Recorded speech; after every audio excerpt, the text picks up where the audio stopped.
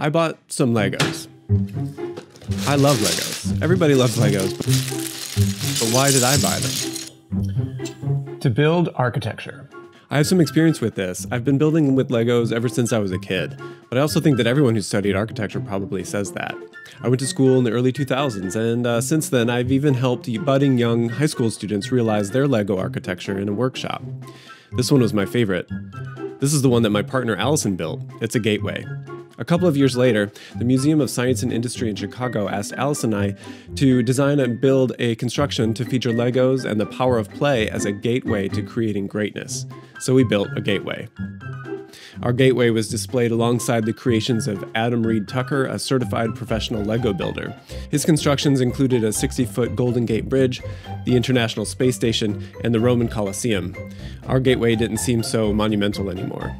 But this all got me thinking why do Legos and architecture go so well together? That's why I bought this set, to build some stuff and to see what kind of architectural lessons are lurking inside of some of these blocks. It's no surprise that toys are important to developing creative young minds. Frank Lloyd Wright famously attributes his early architectural explorations to Froebel blocks, a wooden set of blocks that are cut with specific proportions that help guide budding creators with a system for adding elements together in particular ways held together by gravity. Frank Lloyd Wright's son would go on to invent Lincoln logs, a system of notched wood logs that can be assembled into basic cabin shapes. But no toy franchise has been more successful in inspiring young architects than Legos. Its combination of simple rules, its almost infinite freedom, and the colorful possibilities are a kind of mysteriously perfect storm of providing lessons that translate into architecture. Of course, these qualities also make them good at creating more than just buildings. Legos can be used to make cars, spaceships, characters in movies, TV shows, or cartoons. And you can make bridges, boats, trees, and even paintings. You name it, and you can probably make it out of Legos. They provide a universal system to make anything that you can imagine. This makes them particularly good at world making. They offer a common set of rules and units for building totalizing environments. There's a concept lurking in architecture called total design, where people like Walter Gropius are advocates for a total architecture, where the architect is authorized to design everything, from the teaspoon to the city.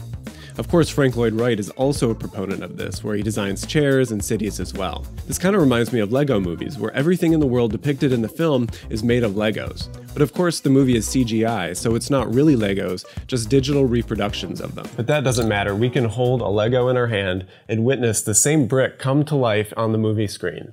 It's almost like this little brick is a key between fantasy and reality. Because of course there are real buildings that are built like Legos. A Lego piece is called a brick that can be used like bricks would be used in a building. But real buildings are like Lego constructions in a wide variety of other related ways as well. The architecture firm Bjarke Ingels Group designed a building especially for the display, exhibition, and interaction with Legos. Of course, the building itself looks like it could have been designed using a model from Lego bricks. Each gallery is like a block intersected with other blocks.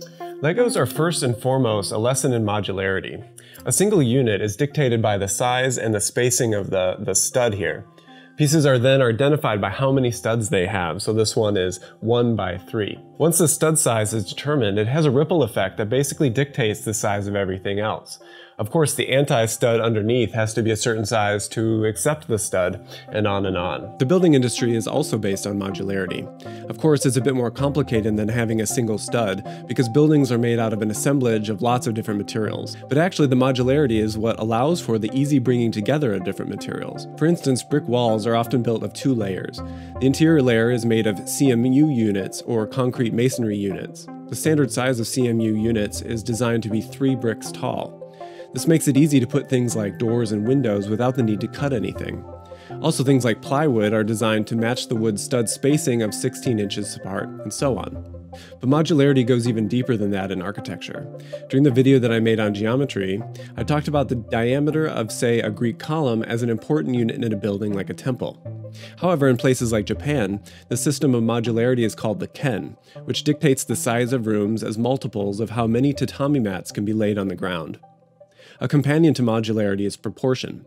LEGO units are square in plan at 8 millimeters, but are 9.6 millimeters tall, making it 1.2 times its width. A plate is one third of a brick in height.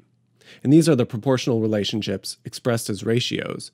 Of course, proportion is also extremely important to architecture. The fixed size of the unit also allows us to talk about something like resolution. For instance, if I try to make a small circle using standard blocks, it's only roughly approximately a circle. But if I build a larger circle, I can actually get a little bit closer to the curvature that uh, a circle would have. The bigger one has a higher degree of resolution because I can use more bricks to build it. And the pixel size isn't so big in relationship to the overall shape that I'm trying to make. This relates to the amount of imagination that I need in order to fill in the gaps. For instance, it's pretty hard to pretend that a low resolution one is actually a circle. It's heavily relying on me to do a lot of that work in my head. But the high, re high resolution circle is much closer and it doesn't need me to fill in as much detail. Architecture is described like this too. Buildings like the Pacific Design Center in Los Angeles could be said to be low resolution. It's really big, but it's like it doesn't have the amount of detail that we'd expect for a building of its size. It's just a single shape with some angles and a circle. This would be in contrast to, say, a Baroque building, which would be very high resolution. Every surface is covered with folds and bends and detail. A low resolution building requires us to use our imagination to pretend what it could be, and some people even call it the blue whale, maybe because it has a fin? But the San Carlino building is crusted with recognizable figures like people and architectural elements like moldings. Low resolution things are fun to guess what they look like. Because of the low resolution, they look like a lot of other things. So, I don't know, what is this? It's like a little guy like chomping at me. Ah. In addition to these ideas around modularity is the fact that there's a logic that dictates how the units are put together. So with Lego, we stack bricks. We can cantilever them, but we need a special piece to be able to go sideways. We might call this logic of assembly a grammar, the same way that you would use the word to describe a language, where grammar are the rules of assembly for the way that words go together. Architecture is often talked about as being a language or like a language, and grammar is a good way of thinking about the rules for how things go together. In all languages, even computer languages, there are increasing scales of packets of information with rules for how the packets go together. In spoken language, we have sounds, sounds go together to make words, words go together to make sentences, and sentences to paragraphs, and so on. Architecture might also work like this. A brick makes a wall, which makes a room, which makes a building. And materials have a grammar of assembly um, as well as rooms have a grammar in a building. Putting bricks together is largely an additive process. You start with zero bricks and you build up a design. But subtractive strategies, on the other hand, are where you have a volume of something that has a clear shape and you subtract a piece from it. it this would be a simple cube, like a whole cube, if it weren't for this one piece taken away. This is also a useful way for talking about buildings, and buildings like the Lego building by Bjarke Ingels is additive. But say their tech center is like a cube with a hole bored through it. Legos also teaches about color blocking and color composition. Of course, colors can be chosen in order to be realistic, but they might also create a graphic on an object that adds another layer of understanding.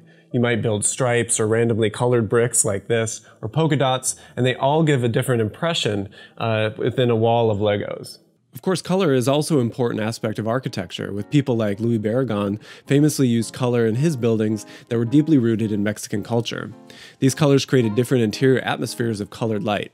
But also color is important as large graphics on buildings and techniques of application like super graphics, where large-scale patterns or graphic information is applied with paint or other processes. These colors can activate otherwise undifferentiated walls or create dizzying effects. Of course all of this is possible because Legos are open-ended. They come with instructions that allow you to make something specific, but you can also improvise by either altering an intended design or creating one from scratch. People can choose the level of engagement, whether they want to follow the rules or express their own individuality. And you can can always take something apart and start over again. The pieces aren't permanently altered through their configuration. In architecture, there are varying levels of this idea. Most building materials are wasted after demolition. However, there are some interesting experiments in reconfigurable or reusable materials. And of course, there are examples like the Ise Shrine in Japan that is made of wood, solid cypress, and doesn't use any nails or fasteners, and the building is rebuilt every 20 years and has been for centuries. The actual process of construction takes 8 years each time, and the last rebuild in 2013 cost half a billion dollars. I'm also reminded of shipping container buildings. There's been a big push since around the 1990s to make buildings out of used shipping containers. There have been quite a few good ones too. The containers are reusable and can almost stack like Legos. The unit size for them is a little strange for architecture though, because they're only about 8 feet or 2.43 meters wide, which is a really tight space for a room. They're also not easy to insulate, and when you cut them for openings, they lose some of their structural capacity.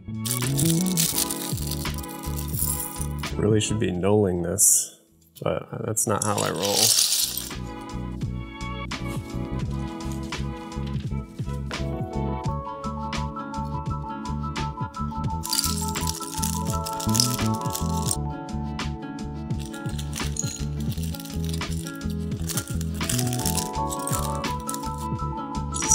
Build some spatial awareness.